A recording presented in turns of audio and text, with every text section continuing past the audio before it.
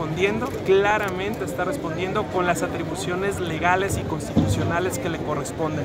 Ante la falta de atención, ante la falta de asumir la responsabilidad que a la federación le corresponden los delitos federales, ante esa ausencia, por supuesto que Diego le está entrando y haciendo todo el trabajo que esté necesario. Por eso exigimos al gobierno federal atención. Así como no ha habido una sola obra una sola obra adicional que se haya dado a Guanajuato, tampoco Marco, Marco,